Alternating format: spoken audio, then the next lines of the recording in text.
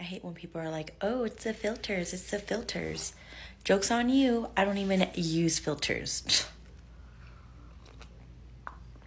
I hate bitches.